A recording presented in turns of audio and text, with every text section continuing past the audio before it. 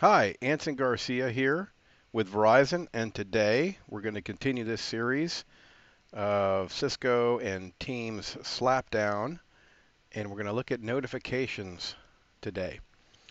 So let's get right into it. Cisco. How the approach on Cisco is basically uh, is on for everything, and then you tune basically from out of the box it's on for everything and you, you can tune down. And um, let's take a look at this because we can do off by default and then tune up. I like its simplicity. So let's take a look at what's here. Notifications first come in the messages button. So let's just uh, we're in a space over here Jack and I'll just write something here Let's go over here and see Liz. Liz is part of that space. Oh, she's in that space. So let's get out of that space real quick and let's just go. Um, let's go somewhere else just so get a better view of what's going on here. Okay, as you saw on your screen over here, there was a banner. It's called a banner. I used to call it a pop-up toast. So we get that banner we get a on the messages button we get a number there. And the teams button we get a number there. And then also in the teams view we'll get a number. So I can go to team view and then we see there's a there's a number there. Now if I keep on going here you can see that this number isn't increased. Uh, that's because it's kind of one person doing that particular post. If there was other people, then that number would increase. Okay, so that's the uh, panel for the teams. Let's look at what it looks like in the messages button. And you can see here we have a little blue, nice visual blue uh, dot saying that um, this particular channel has, excuse me, space, has some posts in it and we get the one there also. Let me pull that down. You can see all we have one and unread we have one. Okay. If we had some favorites or mentions or, or something like that over here, we get some something there as well. So let's go back here. Let's go to here and let's just go to here. I like going that way so I know where I'm kind of at, even though the other way does show you um, the kind of the directory structure is what I call it, or the space structure. So that's how we get notifications, uh, or that's how they look like, again, out of the box. So how can we tune those? Well, let's take a look at first, let's go up here to our picture here, and we go to settings, and then we have this notification tab right here. Now you can see it basically says you can select notifications preferences for your spaces below. Now, this basically is the global setting for notifications. What do you want globally? Uh, do you want all messages to give you a, not a notification? Do you want at mentions only? Or do you want things off by default? And when I say off by default, I mean the hierarchy. This is the, the topmost hierarchy. So if I turn it off here, down in the spaces, I can go on, but it'll be off for default for all my teams and all my spaces. And then I can choose what spaces I want either mentions only or all messages. Okay, let me let me show you. And then of course you get the play sounds and and you know what do you want? Um, what do you want to hear? So let's take a look at. We'll go to a space now. So remember I was up here in settings and notifications just so you see that. And now I'm going to go to the space itself. You know, I can click any space and you see this little button right here. I guess that's uh, an I for information. I can go to the I for information and I have this other notifications here. Okay, now this is for the particular space. And you see it's a little bit different. Do I want to just take the global setting? Maybe I had the global setting on. Out of the box, it's on. Or maybe I had the global setting off and I want this particular channel uh, or space to um, give me all messages. In other words, maybe we had things set as I have lots of spaces and, and there's lots of noise and I'd rather just shut things things off and, and then uh, I choose what spaces I want notifications on. So I could go here, go to settings, I could say I just want everything off. Uh, but when I, for maps here, this particular, I'm very interested in what's going on there and I want all messages. Okay? And I can save that. Okay? You can see my little emblem, my little icon here changed as well. Okay? Let me show you that again. Let me go to global, save. If I do that, it says notifications are off. So it's kind of a visual indicator to me. And the reason is because I'm taking the global, which is up here, and it's off. Okay, if I had that on, we go see that again. We see we we we have it on there, and then I can turn it off. My preference is to have my global settings on the top of the hierarchy off. Okay, and then spaces that I'm a member of, there's certain ones that I want to get notifications, and some that I'll just catch up on later. So if that's the case, then I pick the space I want notifications on, Here's my visual indicator that things are off. And then I can go in here and, hey, I want all the updates on this particular uh, space to come through and give me a, a banner and then the, the num you know all, all, the numbers and things like that. I want some visual indications. So let's see what that looks like. All right, let me just put something here. So I just want to get give you guys kind of a an indicator of how things work. We'll do something like that. We'll go over here in maps and I'll type some text in there. Okay. Okay, so you see I didn't get any visual or audio indication. I still, uh, uh, as far as banners, I still get this visual that something went on um, in there. I didn't get anything here because I'm in that space. Okay, so hopefully that explains a little bit about notifications here. Very simple. Not a lot there, right? There's not a lot there in Cisco Spark. Uh, some think that's uh, a plus, some think that's a, a, a minus uh, because you can't fine tune things better. But you got, you know, on for everything and go tune down or off for everything and go tune up. Pretty basic. Some people like it, some people don't. So let's shift gears and take a look at our Microsoft um, Teams. Put these away. Let's bring up our Office 365 users. Okay, let's bring up Teams in both of those. And what is going on here? So the approach here, uh, if I could sum it up in Microsoft Teams, is kind of off for everything. So out of the box, remember I said everything's on on Cisco Spark.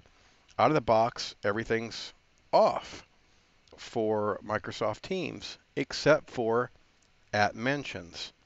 And I want to take that at mentions a little further here in just a second. But that's, let's take a look at how notifications come in. Okay, let me go to sales. Um, to further, I'm just going to bring in this conversation the explanation of favorites and following. Okay, because that's not in Cisco Spark, and I think in the um, video that I did for working with teams and spaces, that particular video, I really didn't point this out. So let me give you a definition of what Microsoft calls or what happens with favorites and following. So favorites, think of favorites, and I can favorite um, a particular uh, channel see here. There's some uh, there's some kind of limitations on general. General, you're always kind of a favorite to. In other words, I can always see the general channel under teams, uh, under my team. For example, I can't get rid of, you don't see, I don't see a favorite. I can't unmark as a favorite here. Um, but I can mark this as a favorite. That's my little favorite button right there. See? So favorites, think of favorites again as a visual. I can either see the channel or I want to see the channel or I don't want to see the channel. Again, um, let's take a look here. You see I see all these channels. I'm always going to see general. I'm not always going to see other things. I have to actually um, make them favorites. Now, they're favorites by default as they come under this team, but I can certainly unfavorite those. So I remove from favorites, and you can see I can't see that channel anymore. I can remove that one from favorites as well, and I can see, and maybe I have 100 channels under the marketing team, and I only want the uh, general is always going to be there. It's always going to be be able to be viewed. And then this one I have marked as a favorite because I want to keep up with that one. So it's it's it's I gotta I gotta explain favorites before we go any further here, and I gotta explain following as well, and I'll I'll tell you why. If I go to a channel here, um, let me under my sales team. I'm going to favorite that. I'm going to go to my widget sales team and I'm going to say hello. I'm going to do a couple things here. You see that? Now you notice over here, I don't get any, there's nothing telling me that uh, something happened, uh, the visual cues, banners, or anything like that. Now if I go to my teams, if I go to my sales team, I, I see that I'm not, the uh, widget sales team is not a favorite. So first let's make that a favorite real quick. Okay, and now you see that that team is bold. That's my visual indicator. Okay, it's bold. Again, let's go back. Now we're now we're part of that space or channel. Let's see if I get anything different. Okay, you see over here, no indication that anything's going on in that particular channel. The only I, the only visual cue I get is it's bold. All right, on if you go Google this stuff, some people don't like that um, because it's not like Slack. So some people are having difficulty with that. Um, and at first glance, I thought it was uh, I, it wasn't well received by me either. But I kind of get after reading a little bit, I kind of get where Microsoft is uh, what what uh, they're after here. So how would I get visual indicators or banners or dings, an audio cue or something like that? That's where the following comes from. So favorites and following, they really have this social media interweaved in here. A lot of people use social media, and these kind of things make sense to some folks. So let's go to my widget sales team, and I'm going to go this ellipsis right here, ellipses, and I'm going to follow this channel. Okay, I can't follow teams, but I can follow channels. All right, so now if I follow that channel, now that's a little bit different. Okay, now let me put something in, uh, from another user. Now you see, I don't know if you heard that, but there's a audio cue and there's a visual banner that comes up as well. So that's how the following uh, is kind of interweaved with notifications. Hopefully you understand that a little bit. So let's take a look at, um, uh, remember, just get this in your head. Favorites are, are, are things like viewing. Uh, if I'm a favorite, I can unfavorite something. I can remove from favorite, then I won't see the channel. And then following kind of gives me the notifications for that channel. Okay? And um, so that's it. Hopefully that gives you a good uh, view of how notifications are quite different. And then there is also, I'll show you one more thing as far as notifications that I didn't show you before. So I can go here and let's go to our notifications here. Since I showed you this on Cisco Spark, let's see it here. Now you can see there's a lot more stuff than Cisco Spark had. Remember Cisco Spark had off or on and at mentions, you know, all or at mentions, um, things like that. So in Microsoft Teams, we have a lot more tuning we can do at the global level.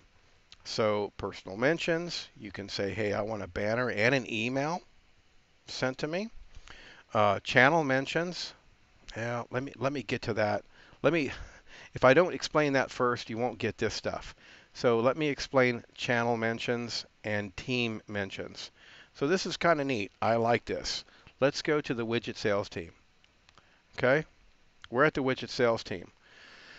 Say there's 100 teams under sales but I have some, I'm, I'm in the widget sales team and I want to um, post something that I want all sales teams to look at, to, you know, they want to, I'm going to notify all the, all the channels here. I want this message to get to. I can do an at team and see my teams come up there. So I can do at sales team Okay, this is the sales team right here. Okay. I can do, you know, I can say something here, and it's gonna it's gonna go to all it, it, everyone in the sales team. Uh, remember, this sales team is is higher on the hierarchy here. Everyone on the sales team that's members of the sales team is going to get this message and get this indicator. Okay. So, what if I want to do just the whole channel. Then I'd have to do at, and I do channel. Okay, then I can just do everyone in the channel. Okay. Okay, and see that popped up over here.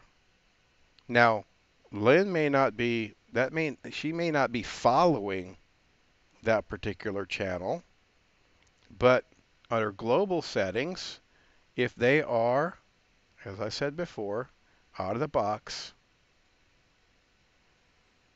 channel mentions, team mentions, everyone's going to get those as long as you don't change this. You can change it to off. But out of the box, if somebody in a channel wants to um, notify the whole team of something, they can. If they want to no notify the whole channel of something, even though people have you know, uh, they're not following, they will get, you know, this message, notification, audio, visual, and things like that. And then we have, you know, chat messages, banner and email. Those are back and forth. And then there's this uh, concept of, if you're familiar with um, an Outlook, you know, in Skype for Business, where they kind of grab the whole uh, chat and kind of bundle it up and put it in a folder. That's kind of what that is. Again, this is pretty neat as far as uh, compliance and things like that. This is a pretty good thing because it's gonna it's gonna be put. You can put that on a um, Exchange folder, I believe. Don't quote me on that, but uh, or you can put it on a local folder. And replies to conversations I started. So that's different. Remember, in Microsoft we have threaded conversations. So even though we're not following a channel, if somebody replies back to me, like Anson is not following this channel, so he wouldn't get any indications. But if someone replies back to one of my messages, okay, I'm going to go ahead and get that, even though I'm not following that channel. See, not following. So usually wouldn't get a message, right? I wouldn't get an indicator over here. Okay, but I do get a message if someone replies back to something that that I said over here.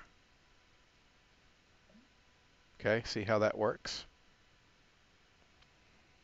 Okay, So that wraps up notifications for today. The last thing I have to mention here is kind of recap, and I, I hope you know not to sound biased or anything. What you know, what's the difference uh, between Cisco and Microsoft?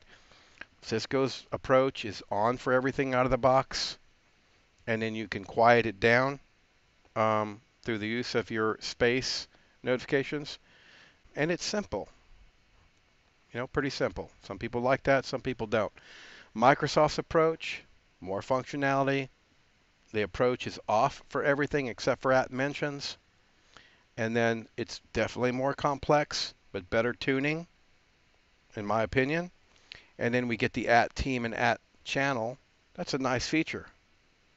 Uh, you'll find on the blogosphere out there that some people are complaining about Microsoft because it's a little difficult to understand. I found it difficult to understand, but once I understood it, I like it. So you got to kind of, you know, weigh the pros and cons. Some organizations are not tech savvy, and they want to, just things to work, and it may be difficult for them to understand how to tune their Microsoft Teams to audio and visual cues and banners. Some may be technical, or some people have organizations have great training uh, apparatuses, and and they, this is nothing to them, and uh, some people don't. So that's it for today. Thanks for viewing.